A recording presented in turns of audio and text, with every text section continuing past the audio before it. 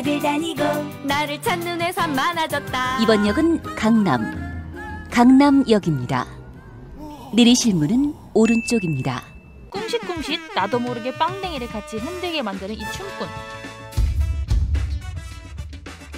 안녕하세요. 지하철 외국인 댄서를 많이 불러주고 있어요. 이 인터뷰 오면서 한 명은 알아봤어요. 버스 정류장 앞에서. 한국에 산 지 10년 정도 되었고 댄서 및 안무가 활동하고 있는 조나기입니다. 지하철 노래가 그 매일 듣는 노래잖아요. 지하철 노래가 외국인들한테 많이 유명해요.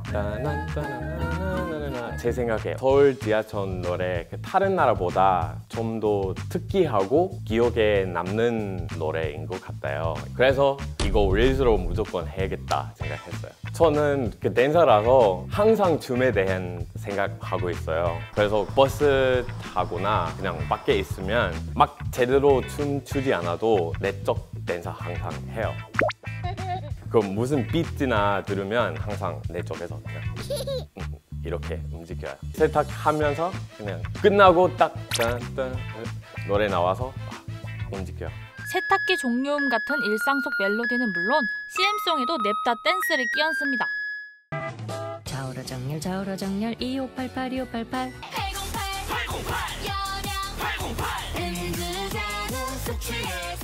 이 외국인 중독성 있는 KCM송에 10년 전부터 진심이었다고 합니다. 처음 한국에 왔을 때는 버스 딸 때마다 서울사이버대학교 그 노래 틀어줘서 너무 재밌어요. 이제는 10년 되었어도 아직도 재밌고 고르는 기준이 있나요?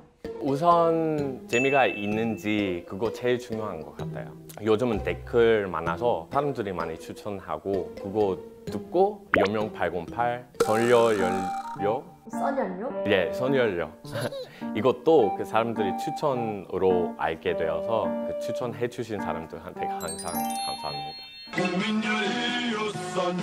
여러분의 사랑 선연료 경우에 제가 좀 생각해야 돼서 그래서 한국 음식 중에 제육볶음은 제일 좋아하니까 그거 아 이렇게 해야겠다 생각했어요. 편집 실력도 신들린 지경에 이르렀습니다.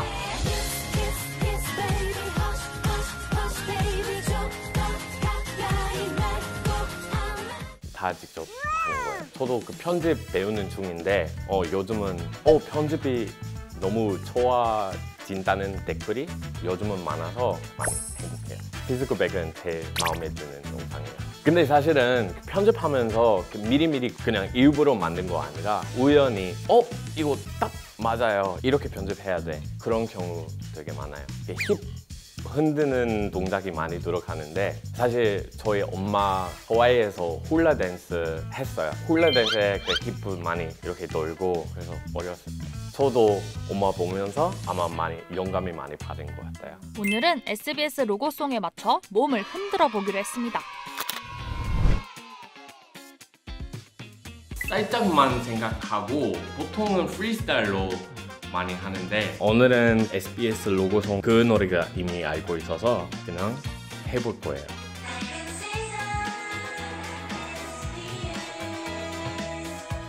네. 밝은 세상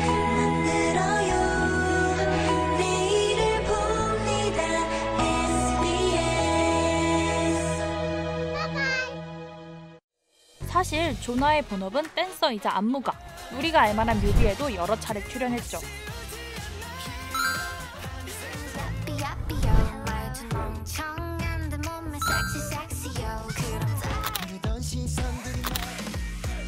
안무가로서 직접 안무를 만들기도 하는데요. CM송 안무를 만든 이력도 있습니다. 현재는 걸그룹 앨리스의 안무가로 활동 중이죠. 조나의 본업 모먼트는 사람들이 내 눈으로 찾아 공유하면서 화제가 됐습니다. 너무 놀랐어요. 요다 아이들 뮤직비디오 진짜 10초만 나왔어요. 그 영상이. 어떻게 알아봤어요? 진짜 잠시 나와서 그거는 너무 신기했어요. 미국에서도 댄서였어요. 디즈니 를 위해 작업을 많이 했고 디즈니랜드 놀이공원에서 여러 가지 쇼 같이 했고 계속 미국에 사는 거는 좀 재미없는 것 같아서 해외에 적어도 한 번 사는 적 가지고 있고 싶었어요. 대학에서 부전공으로 배웠던 한국어를 연습하려고 한국에 온 조나. 한국에서 댄서로 활동할 생각은 없었지만 한국 댄서 친구들을 여러 사귀게 되면서 다시 춤의 세계로 뛰어들었다고 합니다. 처음에 그냥 백댄서 활동하면서 시작했어요. 첫 번째 큰 일은 이승철 전국 투어. 처음에 그 이승철은 누군지 잘 몰라서 찾아봤더니 이 사람은 진짜 유명한 사람이네요. 요즘도 한국말은 좀 어려운데 그때는 진짜 잘 몰라서 가사 배우는 거는 진짜 힘들었어요. 너무 많이 연습해서 차면서 그냥 아, 찾을 수 있을까 이렇게 나와요. 아, my love. 공연을 하며 알게 된 인연을 시작으로 다른 일들을 소개받기 시작했다고 합니다. 가장 기억에 남는 일은 브라운 아이드 걸스와의 작업이었다는데요. 사실은 K-팝에 대해 첫 번째 알게 된 그룹은 브라운 아이드 걸스였어요.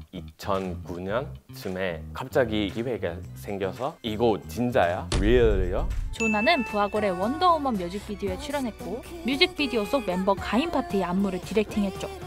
출연하는 사람들이 다 우리 친구예요. 그래서 진짜 우리 같이 하는 기회가 생겨서 많이 추억이었어요. 계속 춤추고 싶어요. 그냥 몸 움직이지 못할 때까지. 그 외에 앨리스 신곡은 4월 19일에 나올 거니까 그것도 그거는 많이 사랑해주면 되겠습니다. 여러분들 지금까지 봐주신 사람들한테 제가 많이 많이 감사하고 여러분 덕분에 많이 행복해요. 감사합니다. 감사합니다. 감사합니다. 감사합니다. 이번 영상을 만든 PD가 추천하는 영상도 보고 가세요. 스브스 뉴스의 다른 영상을 즐기시려면 구독 버튼을 꼭 눌러주세요.